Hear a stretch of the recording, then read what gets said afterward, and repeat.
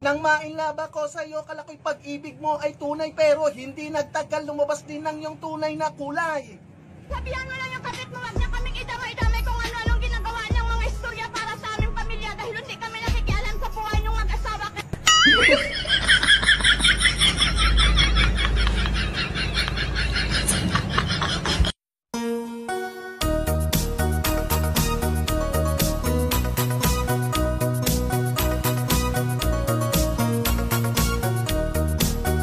Nandito na po pala kayo.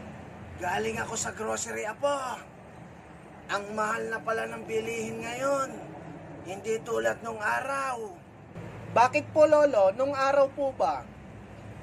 Abay, nung kapanahunan ko, apo, kapag meron kang 20 pesos, pumunta ka ng grocery. Pag uwi mo, meron ka ng kape, asukal, gatas, tinapay, at meron ka pang masarap na palaman. Eh ngayon po lolo, Iba na ang panahon ngayon, apo. Mahirap na. May CCTV na.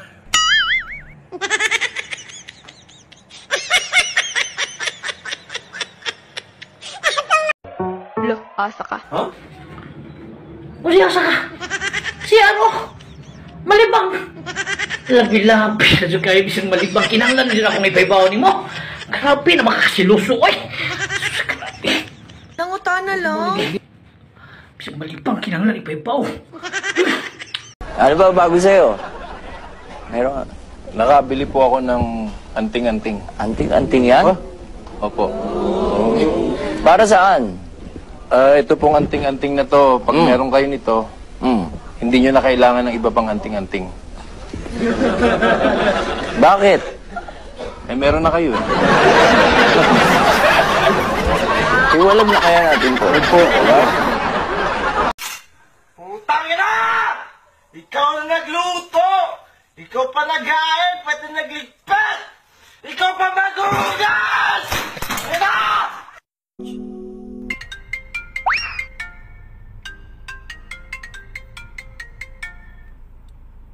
Hello? Sino? Lakasan mo kasi hindi ko marinig. Madilim. ha? Yung boses mo blurred. Ang bot. may multo daw sa CR nila kasi may tae daw pero wala namang tao. Sa CR nga namin dito, yung sabon may buhok pero wala namang ulo.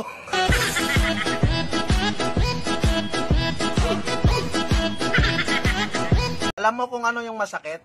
Yung patong-patong na ang problema mo, tapos siya pumatong pa sa iba.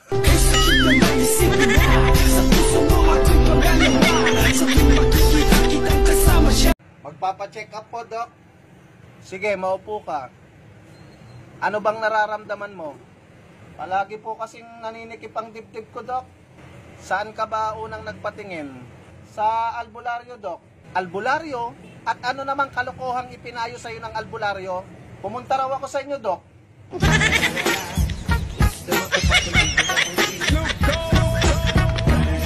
Alam nyo guys, iwasan nyo ang pagsiselos dahil nakakasira talaga ng relasyon yan.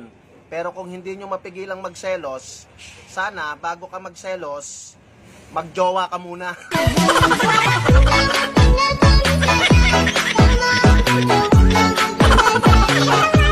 Para sa mga babae dyan, huwag nyong sisihin ng mga lalaki kung nasasaktan kayo, kung naninikip ng dibdib nyo at halos hindi na kayo makahinga. I-adjust nyo lang yung bra nyo.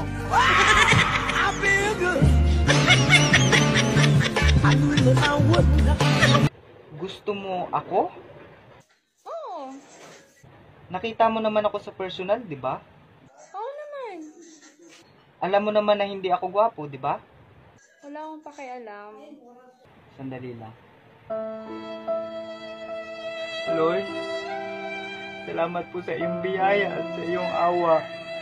first girlfriend na minahal ko and uh, sa sobrang sakit parang feeling ko hindi ko na kaya. So, ang naisip ko, I'll make a song out of this feeling na nararamdaman ko.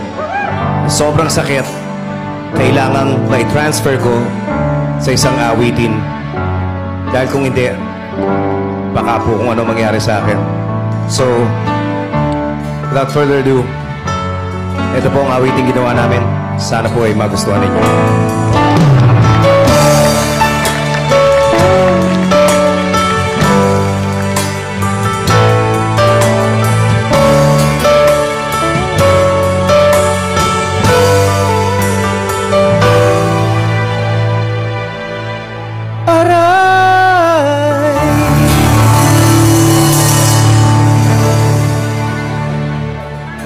Thank you.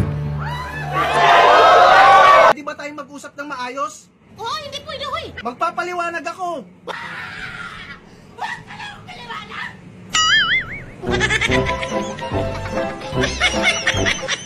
Tol, ano kaya ang pwede kong ibigay sa girlfriend ko? Bakit? Ano ba itsura ng girlfriend mo? Siyempre, tol, maganda, maputi, makinis, at magaling humalik. Sige, bigay mo number ko.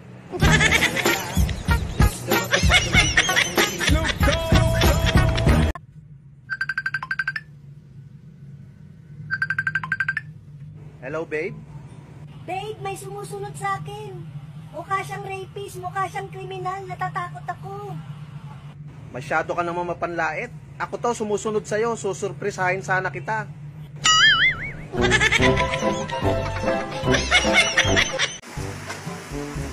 Nina, magtago ka! Bilisan mo, magtago ka! Nandiyan yung kapit Okay, ko! sino yung kapit mo? Teka muna. O sige, magtatago na ako. Tago kami! Oo. Baka malaman yung may asawa ko! Bakit ako magtatago? Ako pala ang asawa mo. Ikaw talaga walang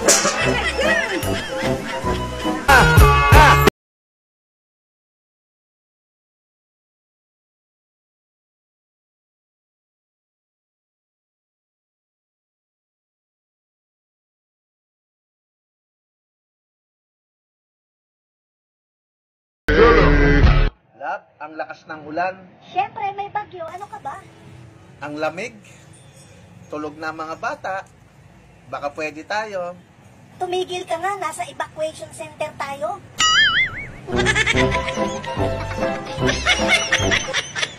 Kung busy ko kung bakit ganito ang langit. Nilayo ako sa'yo. Di ko mapangkap. Mahirap magpangkap. Nako'y pinipig ko. Good morning, babe. Morning, babe. Magkape ka na. Babe, sumasakit yung ano ko. Parang nasobrahan yata tayo kagabi. Wala nang nangyari sa ating kagabi at hindi pa nga pwede, di ba? Anong walang nangyari? Anong hindi pa pwede? Nakalimutan mo na ba? Kaya sumasakit yan. Kahapon ka lang nagpatuli.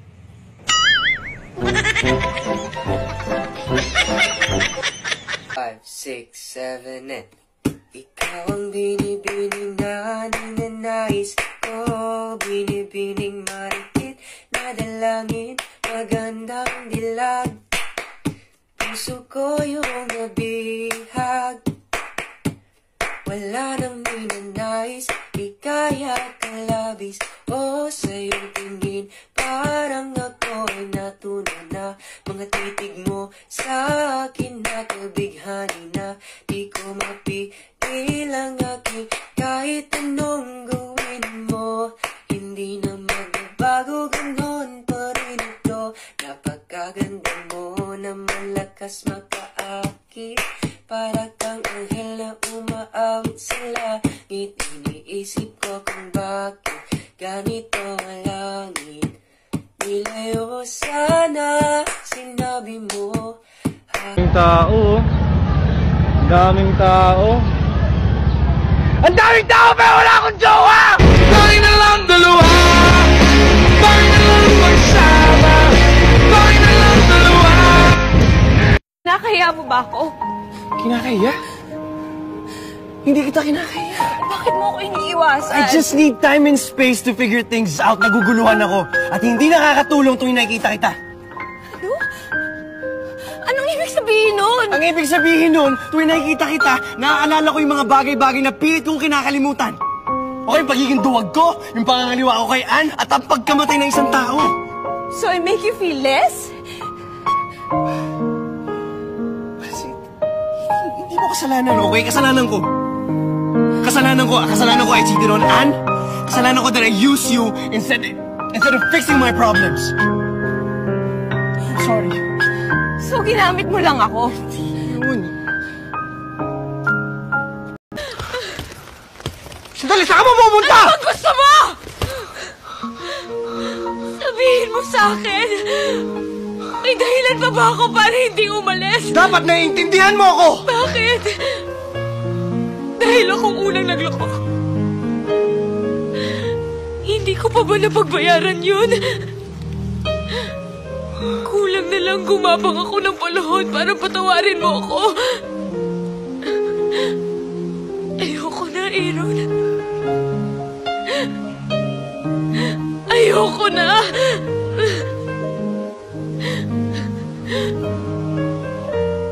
Hindi mo pwedeng gamitin ang isang pagkakamali ko para pa ulit-ulit mo akong saktan.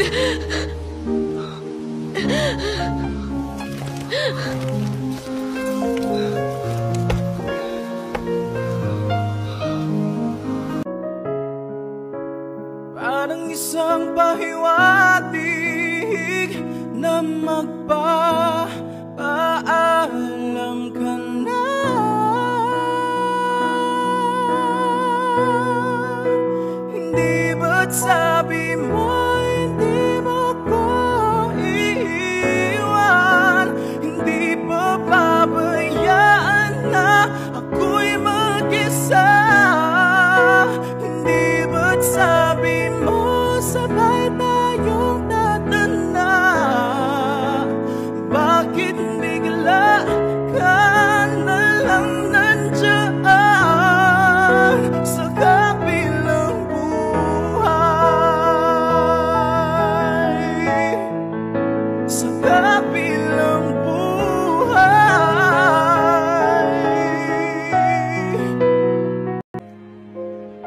dami ng problemang dumarating sa buhay ko.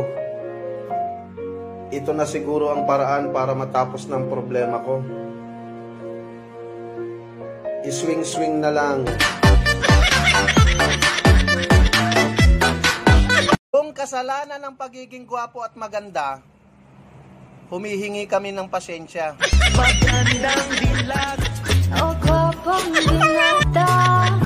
Hiwalay na tayo. Sawa na ako.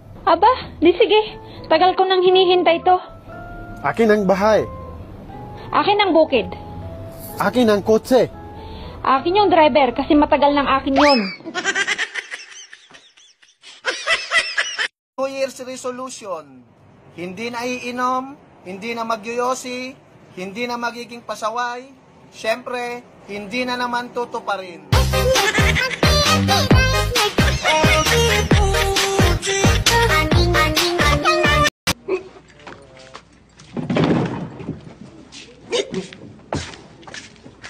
Lasing ka na naman?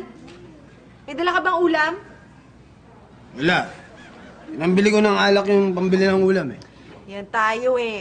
Lagi mo kasing inuuna yung pag-iinom? Alam mo ba kung bakit ako umiinom? Bakit? Kasi tuwing umuwi ako, lagi walang ulam! Time in the Beninging. One more time! In the Beninging. Ben, Beninging. Cut! It's beginning! Beginning! Before time in the Beninging. Be, ni, Beninging. Cut! Bodo lalu! Hey, it's beginning in the beginning! Beninging. Ben, Beninging. Hey, be- properly! Where you going? I go home now, and I will start from Beninging again.